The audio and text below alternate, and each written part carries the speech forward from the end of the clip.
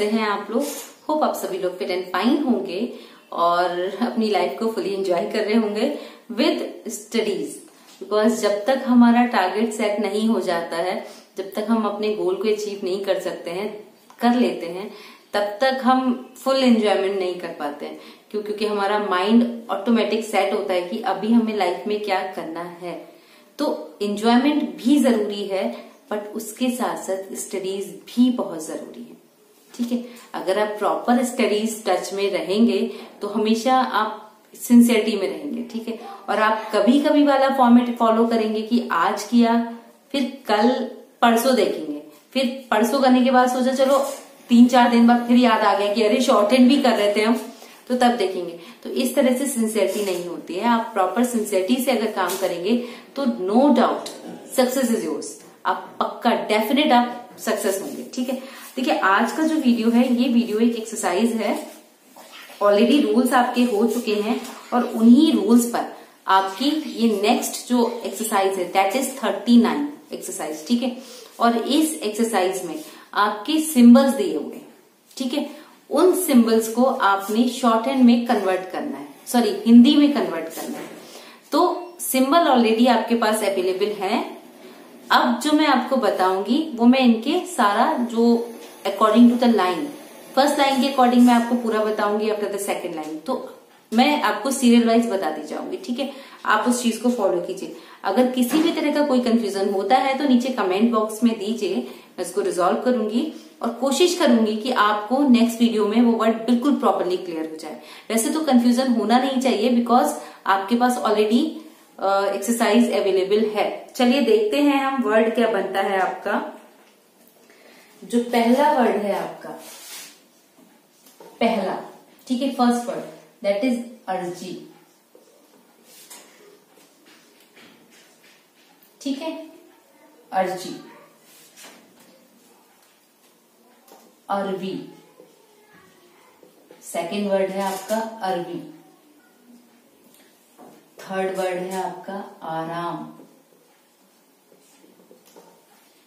इसके बाद है, अरिष्ट। इष्ट का चाप लगा हुआ है यहाँ पर, अरिष्ट। रा की व्यंजन रेखा पर। ठीक है? इसके बाद वर्ड है आपका अर्क। चूँकि स्वर में पहले आ रहा है रा की व्यंजन रेखा में, इसीलिए रा डाउनवर्ड बना। ठीक? अर्क।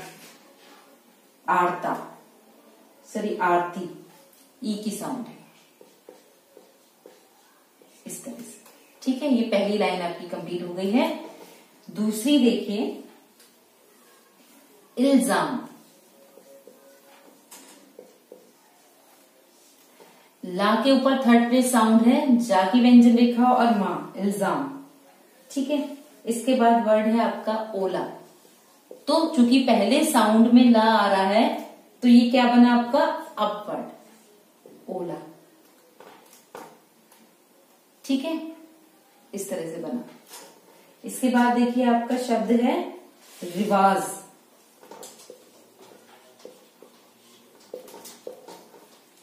रिवाज के बाद आपका शब्द है रसाल लड़का। लाली ठीक है? थर्ड लाइन देखिए। लाचार। चा में रा का हुक लगाया और ये मात्रा यहाँ लगा दी है। इस तरह से ये बनाया गया है। ठीक है, लाचार। ये रूल आपको ऑलरेडी साउंड वाला बता चुकी हूँ। उसी के बेस पर ये वर्ड बना है, लाचार। ठीक है? नेक्स्ट देखिए, लाचार। लेखन।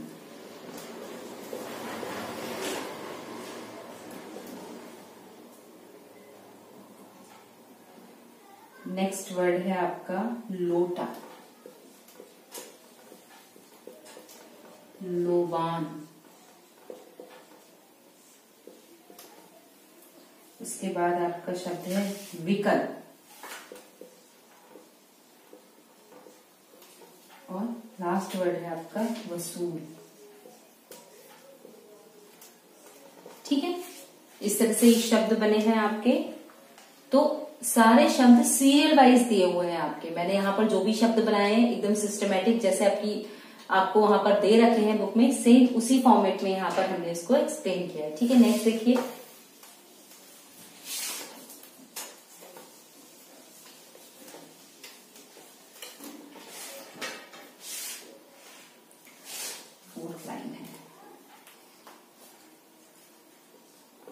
समा लोचन।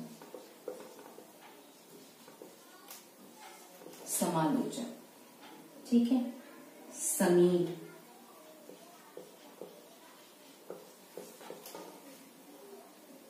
समूल।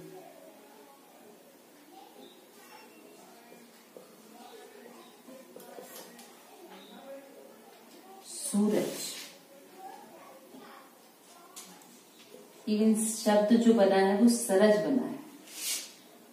इसके बाद आपका शब्द है पोसला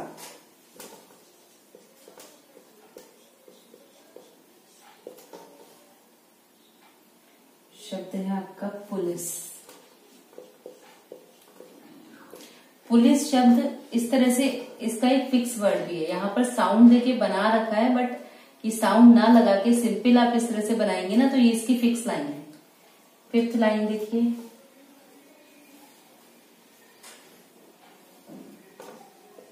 सरा बोर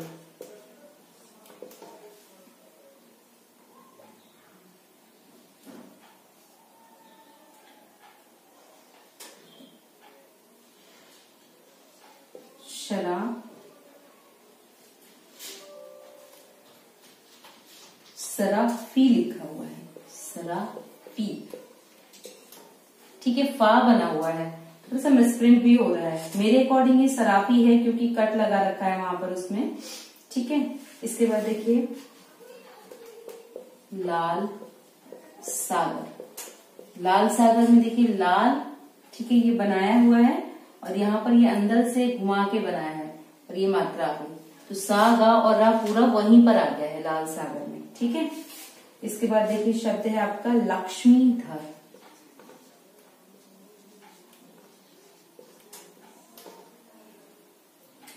गुलाम। ओके? नेक्स्ट देखिए। अब हमारे सेंटेंसेस शुरू हो गए हैं तो सेंटेंसेस आपके किस तरह से बने? पाँच वर्ष पहले। हम कलकत्ते गए थे। वहाँ बहुत बड़ी बड़ी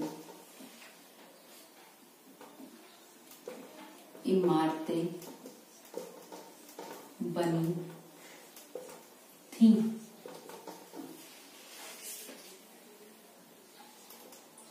उनको देखते ही ऊपर वाला लिया होगा? मैं इसे रेज कर रही हूँ।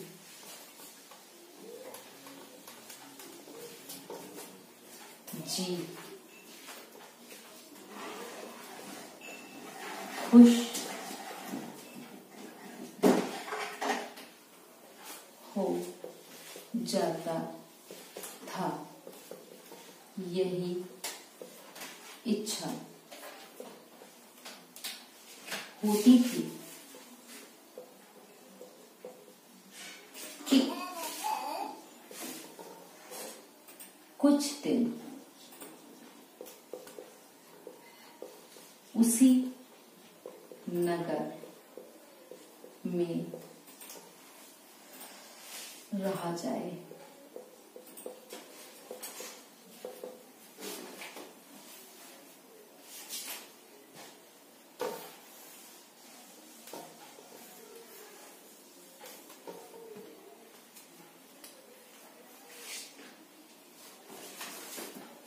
सेवन फिफ्टी हमने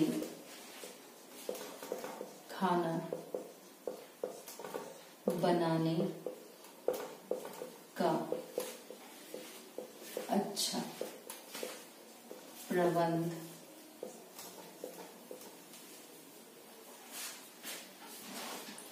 कर लिया था। अब इसको कंबाइन करेंगे तो कैसे लिखेंगे? ये मैं आपको यहाँ पे बता दे रही हूँ। कर लिया इस तरह से लिखेंगे ठीक है इसमें हमारे मित्र रामेश्वर प्रसाद बड़ी मदद करते थे हम उनसे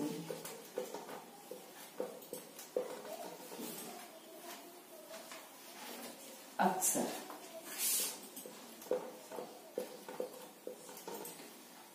कहा करते थे। कहा करते थे। ठीक है, ये ज्वाइनिंग कर दी हमने। कि मित्र। तुम कष्ट मत करो। ठीक है, देखिए इसको ऊपर का इरेज कर रही हूँ मैं।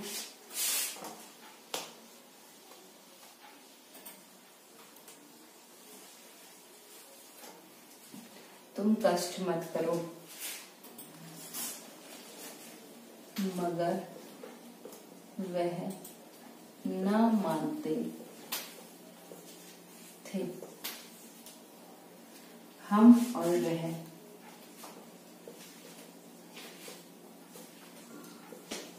अक्सर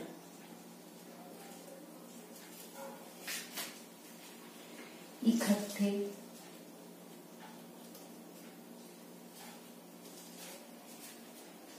ही बैठकर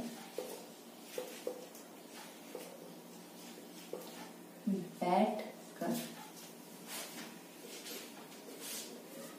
खाते थे।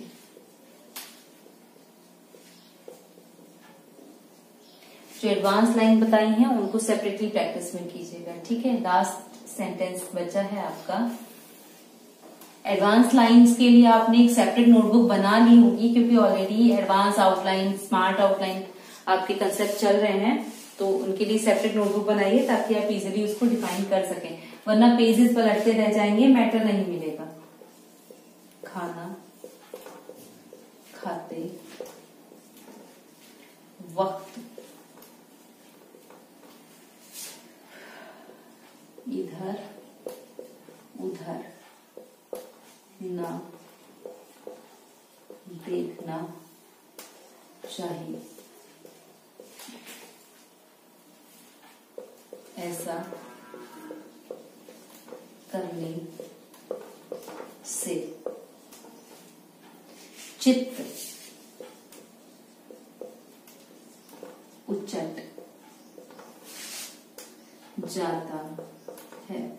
कुछ बुक्स में ये सेंटेंस जो है थोड़ा सा मिसप्रिंट है, ठीक है? तो आप उसको टैली कर लीजिएगा। और अक्सर भूखे ही उठना पड़ता है ठीक है?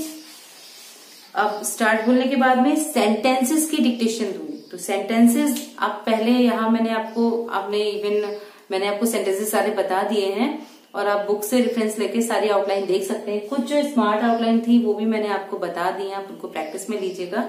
और स्टार्ट बोलने के बाद में मैं डिक्टेशन सेक्शन शुरू करूँगी। डिक्टेशन सिर्फ़ और सिर्फ़ सेंटेंसेस के sentences six seven and eight तीन सेंटेंसेस हैं, ठीक है? बहुत ही आराम से बोलूँगी। आप इसको प्रॉपर कोशिश कीजिएगा कि आप लिख पाए इसको। स्टार्ट पाँच वर्ष पहले हम लोग कलकत्ते गए थे। वहाँ बहुत बड़ी बड़ी इमारतें बनी थी। उनको देखते ही जी खुश हो जाता था यही इच्छा होती थी कि कुछ दिन उसी नगर में रहा जाए। हमने खाना बनाने का। अच्छा प्रबंध। कर लिया था। इसमें हमारे मित्र रामेश्वर प्रसाद बड़ी मदद करते। थे। हम उनसे अक्सर कहा करते थे कि, मित्र, तुम कष्ट मत करो, मगर वह ना मानते थे। हम और वह अक्सर इकट्ठे ही बैठकर खाते थे। खाना खाते वक्त इधर उधर ना देखना चाहिए। ऐसा करने से चित्त उचट जाता है और अक्सर भूखे ही उठना पड़ता है। कैसी रही आपकी डिक्टेशन होप ये डिक्टेशन आपकी सही रही होगी। डिक्टेशन तब तब ही सही जाएगी। जब आपने आउटलाइन की प्रैक्टिस की होगी। और जो मैंने स्मार्ट आउटलाइन बताई है, उनको भी करके देखिएगा। उनसे आपकी ग्रिपिंग बढ़ेगी। तो डिक्टेशन सेक्शन को दो से तीन बार सुनिए और उसको कॉन्सेंट्रेशन के साथ कीजिएगा, ठीक है?